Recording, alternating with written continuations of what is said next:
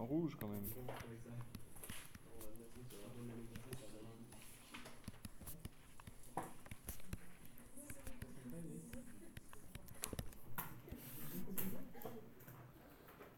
Alors, si on reprend un petit peu un à un les éléments qu'on a vus.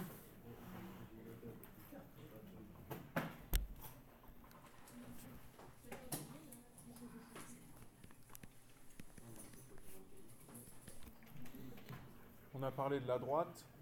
On a vu que la droite était définie de manière unique par deux points.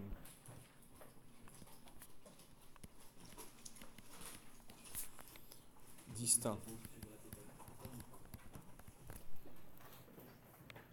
Tout ça, c'est dans le script déjà. On a vu le plan. Et on a vu que le plan était défini de manière unique par trois points distincts non alignés.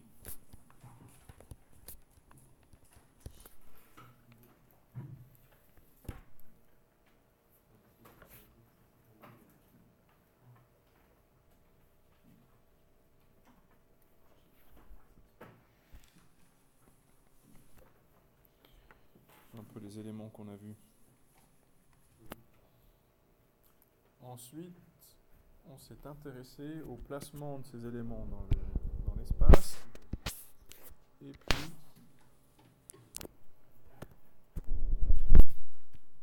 on a vu qu'on pouvait définir un repère comme ça, avec l'axe des X qui est celui qui vient vers vous, qui vous pique dans l'œil l'axe des Y et l'axe des Z qui nous donne la profondeur.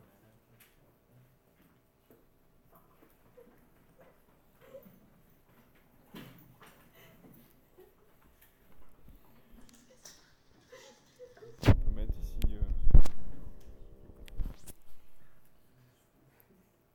les unités.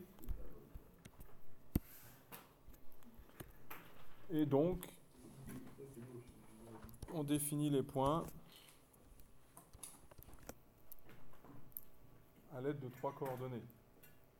L'abscisse, l'ordonnée et la cote. La cote.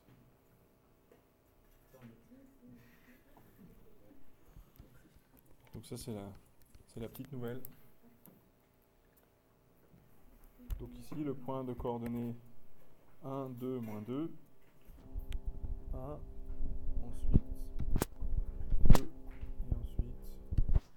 moins 2. Donc, si on le dessine juste comme ça, on ne sait absolument pas où il se trouve. Euh, il pourrait être dans le plan XY, il pourrait être en dessous, il pourrait éventuellement être au-dessus si on a une bonne imagination. Donc ce qu'on essaye de faire, c'est de tracer ici euh, le parallélépipède sur lequel se trouve ce point.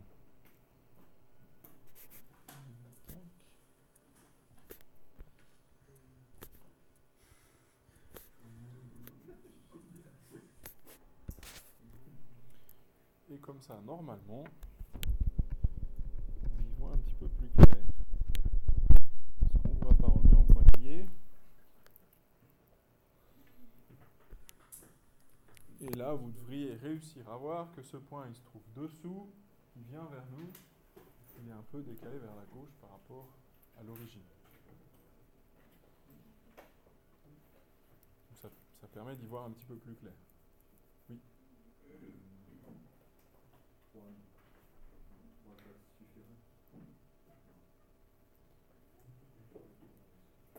Trois axes suffiraient.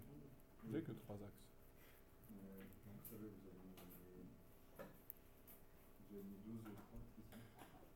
Oui. Ah, comment Comme ça et comme ça Hmm Oui, on a tac, tac et tac. Oui, mais ça c'est encore plus clair. Là on voit le volume et puis ça nous permet de placer le point.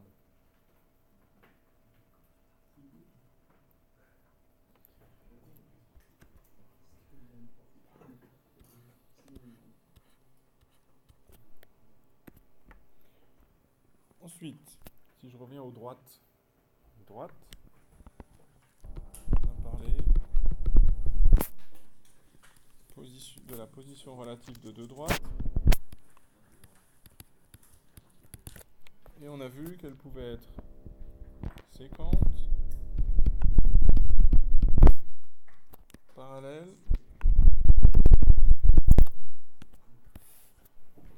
ou Cassandre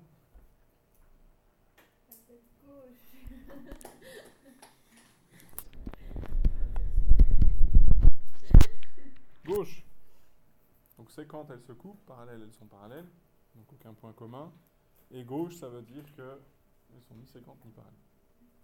Comme ça, par exemple. Elles vont jamais se couper, mais elles ne sont pas parallèles non plus.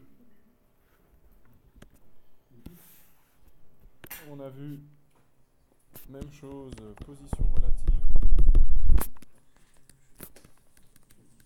de deux plans.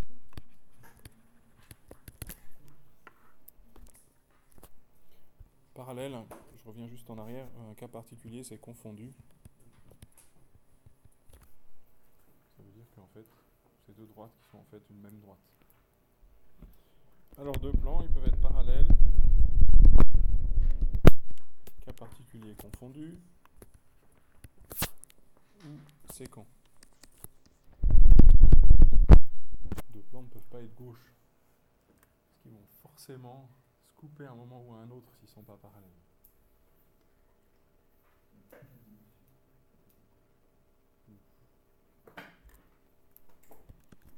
Si on rentre dans la quatrième dimension, alors là. Et puis, a la position relative, droite plan.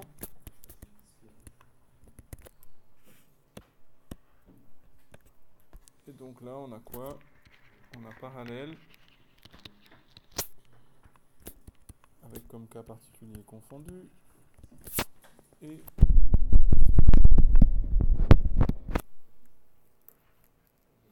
Donc une droite peut être séquente à un plan, c'est-à-dire venir le transpercer.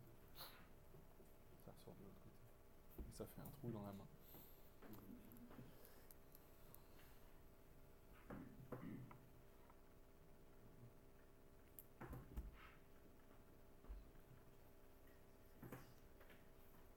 Donc voilà quelques éléments.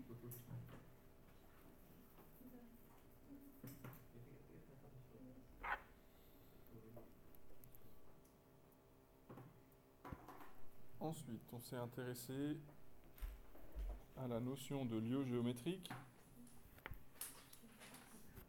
et à la notion de comment ça s'appelle?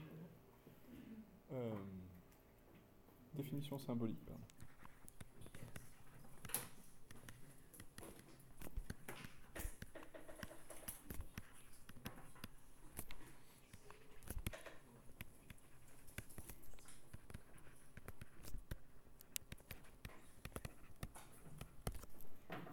Définition symbolique de lieu géométrique.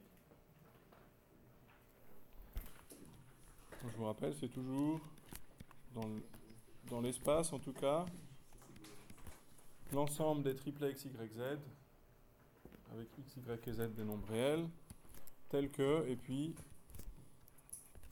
on pose une condition.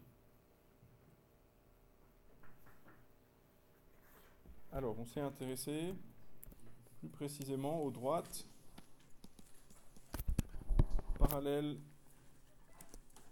aux axes.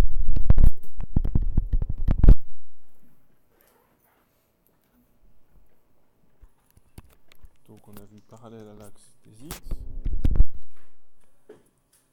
parallèle à l'axe des x, on a y et z, donc les coordonnées y et z qui sont fixes, parallèle à l'axe y, on a x et z qui sont fixes, et parallèle à l'axe z, on a x et y qui sont fixes toujours deux coordonnées fixes et une qui est libre, donc qui prend toutes les valeurs du nombre réel possible, ce qui nous donne ce parallélisme à l'axe.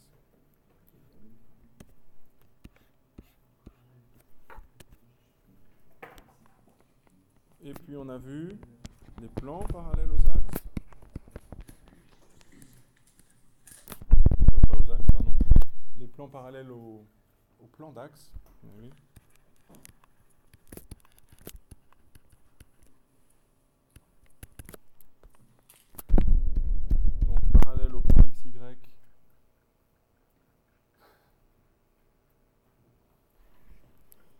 Euh, on a Z qui est fixe. Parallèle au plan XZ, on a Y qui est fixe. Et parallèle au plan quoi, YZ, on a X qui est fixe.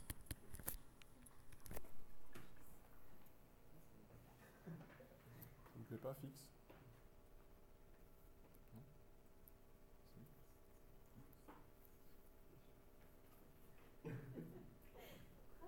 Si. Je sais pas, j'entends des choses, mais j'entends pas tout.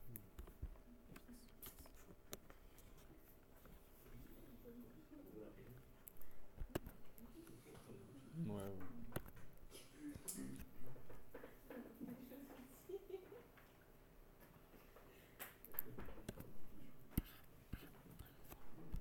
Puis on a vu des cylindres.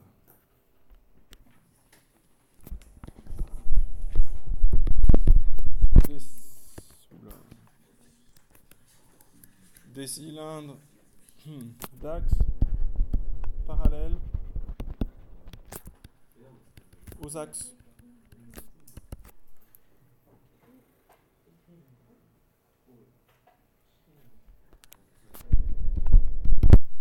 Alors, parallèle à l'axe des x, on a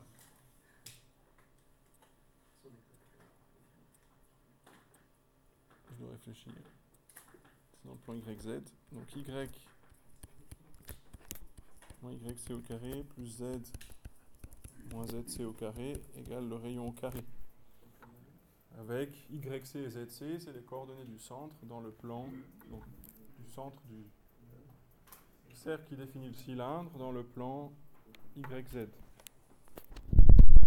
puis, même chose dans, pour les axes parallèles à l'axe Y.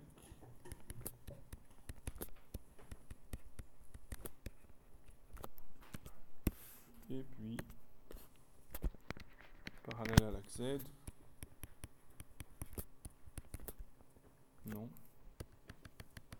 C'est faux. N'importe quoi.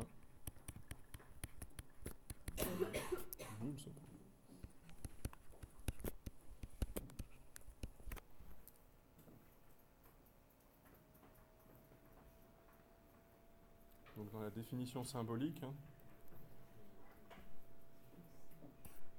j'ai mis les pointillés, plus en haut, ben on aurait ça. Avec YC, ZC et R que l'on adapte suivant le cas dans lequel on est.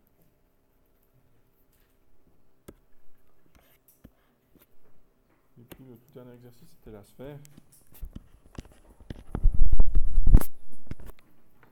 Donc une sphère, elle est définie. Ça, on verra ça en fin de chapitre.